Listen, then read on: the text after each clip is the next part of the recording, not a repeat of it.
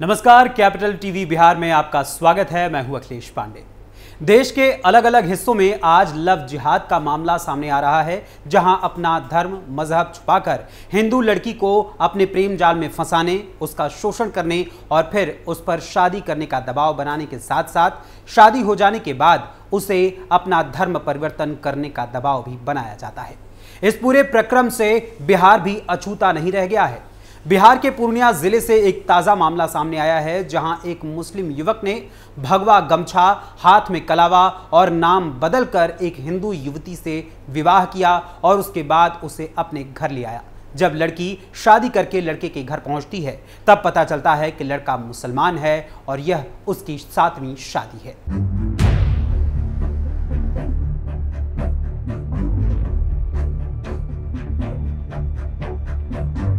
गले में भगवा रंग का गमछा, हाथ में कलावा, माथे पर टीका, साथ में खड़ी एक महिला जिसकी मांग में भरा है सिंदूर। देखने पर लगता है कि यह विवाहित हिंदू जोड़ा है। किंतु सच का खुलासा होता है तो पर्दे के पीछे दिखती है कुछ और ही कहानी। लड़की हिंदू युवती और लड़का शंकर यादव उर्फ़ मोहम्मद जियारुल। पहचान एक बंगाली मुसलमान। दरअसल पूरा मामला बिहार के पूर्णिया ज़िले का है, जहाँ तकरीबन 32 साल का एक युवक हाथ में कलावा, माथे पर टीका, सिर पर भगवा गमछा पहनकर एक हिंदू युवक बनता है और नाम रखता है शंकर यादव।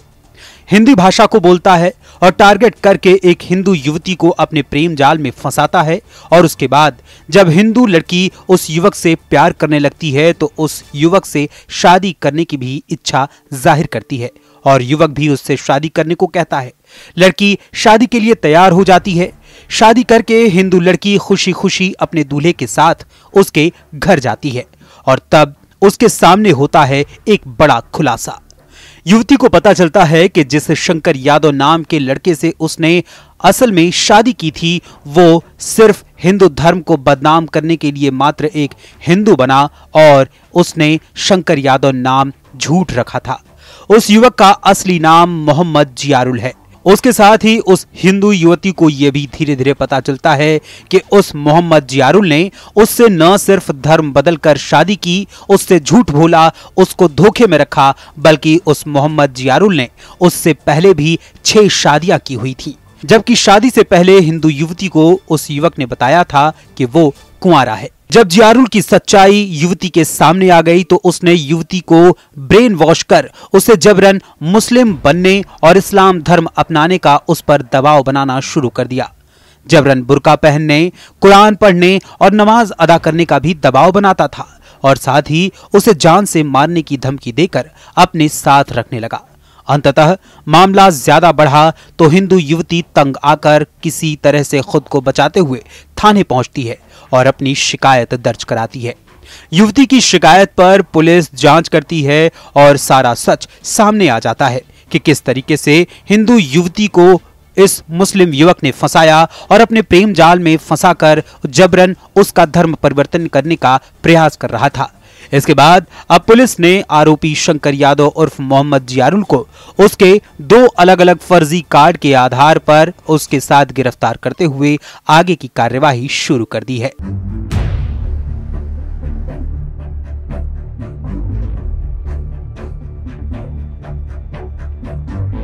गौरतलब है कि देश और समाज में कुछ चुनिंदा लोगों के इशारों पर पूरे देश में अलग अलग स्थानों पर लव जिहाद के साथ साथ दबाव बनाकर अथवा ब्रेन वॉश कर लोगों को बरगलाते हुए उन्हें धोखे में रखकर उनका धर्म परिवर्तन करवाया जा रहा है। ऐसे में हमारी और आपकी और साथ ही सरकार की भी ज़िम्मेदारी है कि इस गंभीर मुद्दे पर ध्यान दिया जाए। हमें किसी भी धर्म से कोई समस्या नहीं है।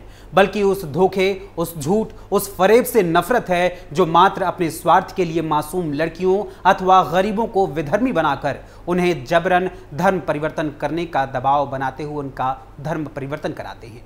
जो बच जाते हैं, उनका तो ठीक, लेकिन न जाने कितने ही इस मायाजाल में फंसकर अपना वजूद, अपनी पहचान और अपना अस्तित्व खो बैठते हैं। अतः आप भी सावधान रहिए और अपनों को भी सावधान रखकर देश और समाज के लिए कुछ बेहतर करने और भीड़ में रहकर भी भीड़ से अलग पहचान रखने का हुनर अपने बच्चों को सिखाइए। इन्हीं शब्दों के साथ मुझे अनुमति दीजिए। फ़िलहाल अभी के लिए बस इतना ही। बिहार की और भी तमाम खबरों के लिए सब्सक्राइब कीजिए कैपिटल टीवी बिहार। धन्यवाद।